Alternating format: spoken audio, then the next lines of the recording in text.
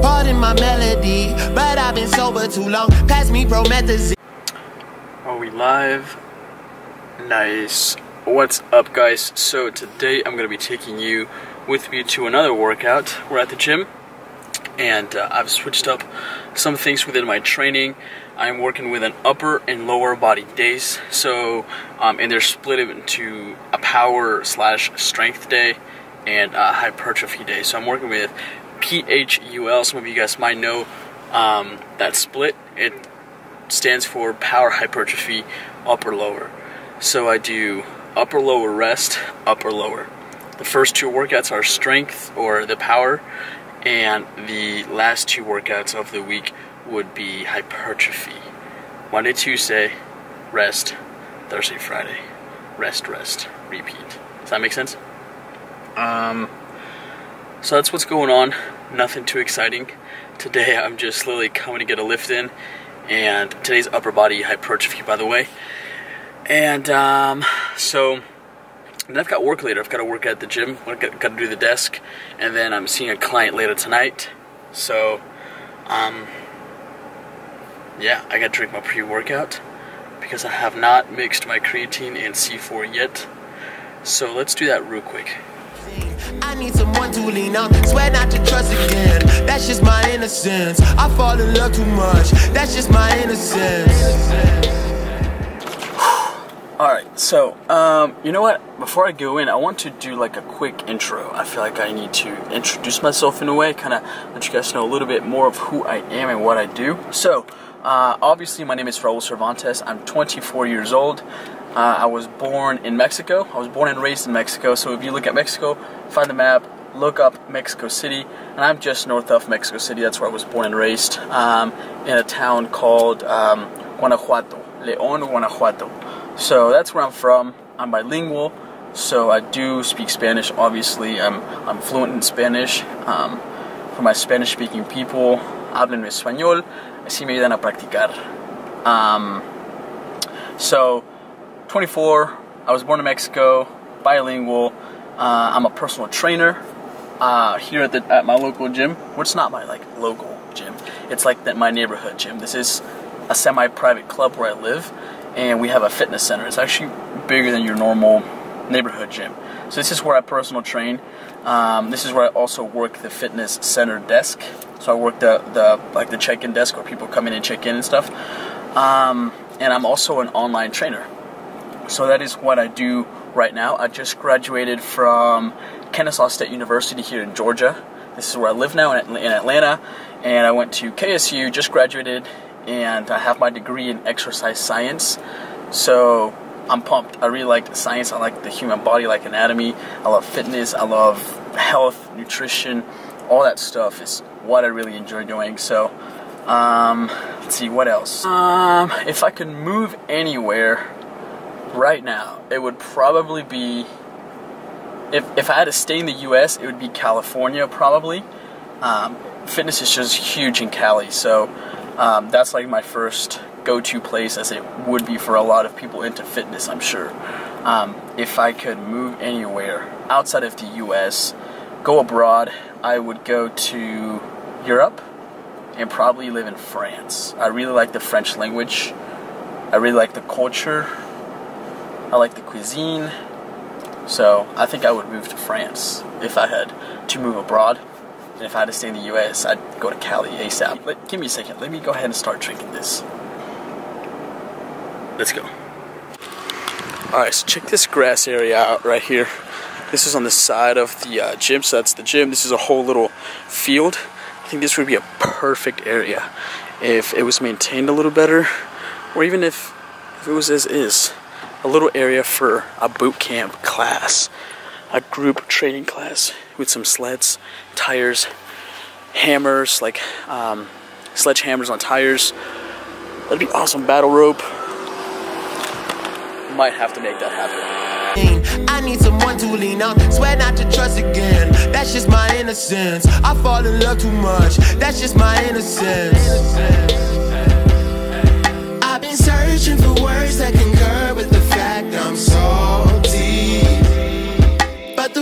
this behind, I'll be fine as soon as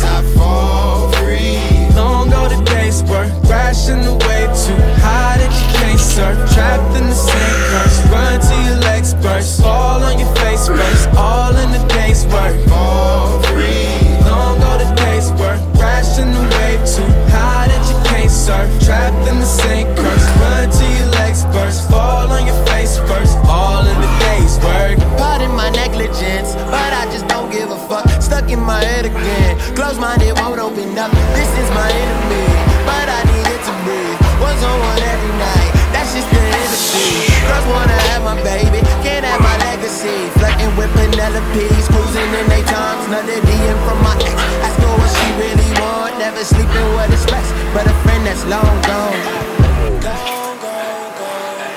I've been searching for words that can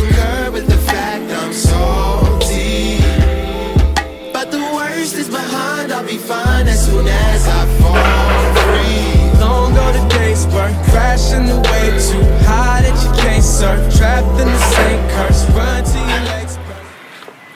And that was it. Now I'm getting a little annoyed with this camera. Um, it to like overheat on me at the most important parts of like when I'm when I'm talking or um, when I'm lifting. So you guys missed uh, some side lateral raises that I did and uh, biceps. I'm gonna go home, shower, grab some food, and then come back. Come back to the gym. I gotta work the desk. So. sun don't shine, if the world's on fire, if the oceans rise, our love will survive. If the skies fall down, if time runs out, when the trumpet sounds. Alright, so I've been at the gym for a good bit now, uh, answering phone calls, spotting people, training, answering more phone calls, uh, picking up stuff, like a lot of weights that people don't put away, answering more phone calls. It's time to eat.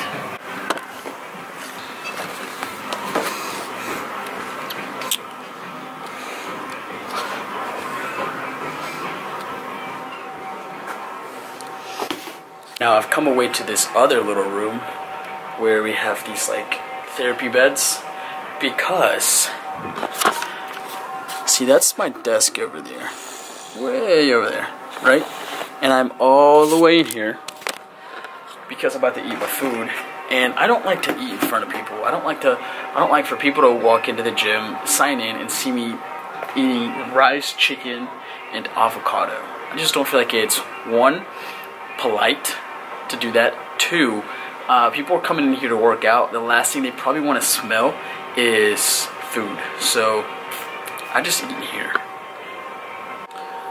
Okay, so while on the topic of food, um, oh, by the way, hot sauce, make your food taste good because plain food just isn't gonna cut it, and uh, you're probably gonna get bored. So throw some mustard on it, throw some hot sauce, throw throw whatever you want on there, as long as like you're in moderation. And uh, what I was saying, um, now I've got my food right. It's cold. It was in my lunchbox over there, which is on the floor. Um, it's cold. I've got my food with me. It's cold and I've told this to so many people, so many people, especially if you know me like personally, like you like you're a friend of mine, somebody who comes to the gym here. A lot of people have told me, "Hey man, how do you stick to eating the food you eat?" And you know, it's I can't always eat the same foods, or I just can't do it. I, I break. Eventually, I break. One, you just have to do it. Two, you have to have with, with food with you all the time. I have my meals with me all the time, like I do here. And if it means eating my food cold, if that means eating cold chicken, cold rice, so be it. I worked at Abercrombie at the mall for four, like four and a half years. And for all those four years, while I was working, I ate my food cold. Anybody who worked with me can vouch. Anybody who works here, anybody who knows me personally can vouch. You guys are seeing it. I'm eating my food cold. So there's no excuses. You guys, if you're too soft to eat your food cold, and to stick on, on, on like your routine to stick to stick on track to be on schedule? I don't know man. And then this is probably not for you. This lifestyle is probably not for you. Like if you have to have your food look all pretty and shit and have a plate and have it heated up and have somebody basically feed you then i don't know. I don't know how to help you you just have to eat your food. You just have to have it with you, have it wherever you go. I literally, I carry my lunchbox to school. Well, I graduated, but I carried it to school. I would carry it to work. Uh, any job that I've had, I have carried my meals with me, and they've been in a lunchbox. And if I don't have a microwave, I eat it cold. I just do. I just don't care. I just want to make progress. I want to stick to my stuff, and I know that eating my food is gonna get me there. And if that means eating it cold, then I'm gonna eat it cold. Okay, real quick, check this out. I was just scrolling through Instagram. Jim Kritz, Coach Kritz, he was or is the strength and conditioning coach for the football team at Kennesaw State University. That's where I went to school. Um, I had the uh, pleasure of working alongside Coach K uh, for six months. I coached the team. These guys you see here in the videos and on the posts, I got to coach a lot of them and um, it was such an awesome experience. A lot of people don't know, and I mean, I, I don't. It's not like I tell people to say, "Oh, dude, that was so cool. I worked with a college football team." No, it was just a really neat experience. Um, working with athletes is definitely by far very different than working with general population, and it was it was such a neat experience. Um, and Coach K taught me so much and different things. Like he was a great mentor uh, different of the things that he taught me, I still apply to my life actually, and to my training that I do with my clients. Being alongside Coach K was definitely an experience um, that I'll never forget. Um, for six months, I woke up at five in the morning, uh, like 4:45 in the morning, and I had to be in the weight room for a staff meeting with Coach K and like three other interns.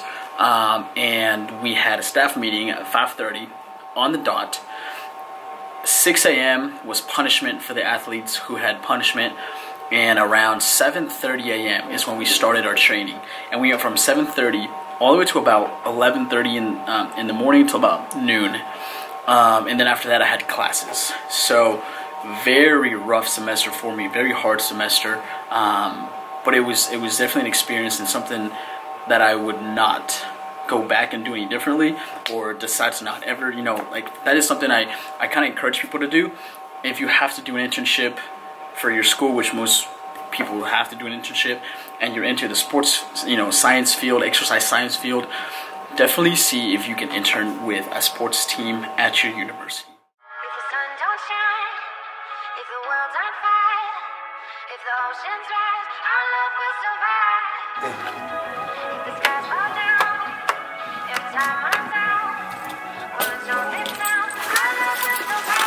Go. If the sun don't shine, if the world's on fire, if the oceans rise, our love will survive. If the skies fall down, if time runs out, when the trumpet sounds, our love will survive.